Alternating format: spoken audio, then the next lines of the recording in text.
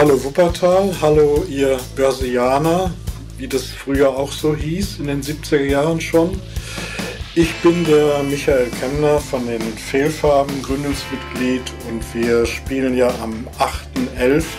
in der Börse zum 50-jährigen Jubiläum. Da freuen wir uns sehr drauf. Und ich kann mal kurz erzählen, äh, was ich so, was mich mit der Börse äh, verbindet, was ich da erlebt habe. Also es war in den 70er Jahren, da war ich regelmäßig äh, Stammgast. Das war fast mein zweites Wohnzimmer in der Börse. Hab da diverse Konzerte damals gesehen und, äh, und hatte auch über den Frederick, das war ein Amerikaner, der damals Börse geleitet hat. Den hatte ich kennengelernt.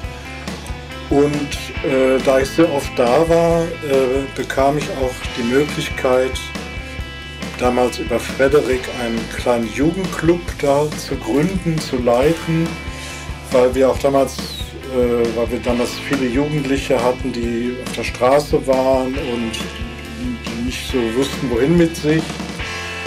Den habe ich dann so eine Art Jugendclub gegründet, Fußball gespielt und Disco, Disco-Veranstaltungen im Keller gemacht.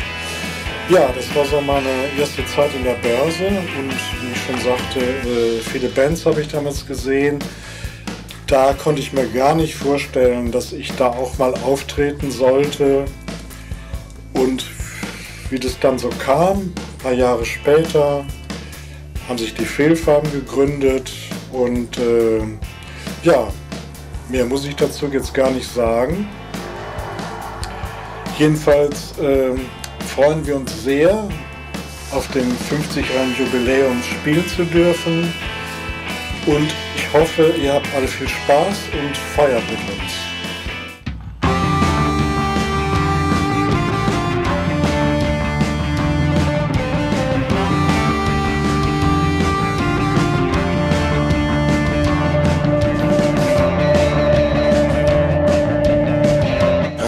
Der Kurt von den Fehlfarben. Ich war damals noch nicht Mitglied der Fehlfarben, aber ich war natürlich auch äh, ein äh, Besucher des, äh, wie hieß es noch, Michael, der Wackeltreff.